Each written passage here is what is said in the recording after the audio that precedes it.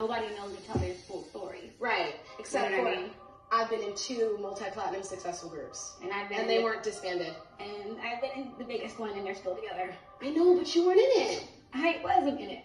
I sold 19 million albums on Say My Name. I know, but did you? Did I what? Ask. Did you? Absolutely, I sang.